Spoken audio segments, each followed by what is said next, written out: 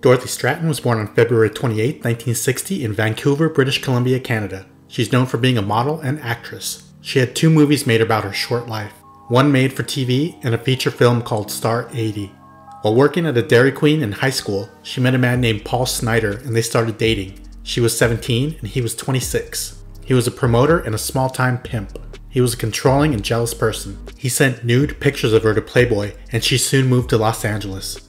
She became Playboy's Miss August 1979 and the couple married. She was Playboy Playmate of the Year in 1980 and acted in a movie called Galaxina.